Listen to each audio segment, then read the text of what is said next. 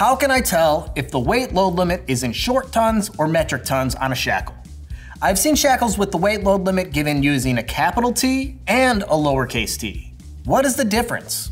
A lowercase t means the weight load limit is measured in metric tons, which equals to approximately 2,205 pounds, while a capital T means the weight load limit is measured in short tons, equaling 2,000 pounds. This is important to take note of so you can make sure that you do not miscalculate the weight load limit of your shackle. If you are measuring in metric tons, when your shackle is rated for short tons, you could exceed that weight load limit. For example, CM shackles have a capital T. Their weight load limit is rated in short tons, while most Crosby shackles have a lowercase t, meaning their weight load limit is rated in metric tons. Rigging hooks are also typically rated in metric tons.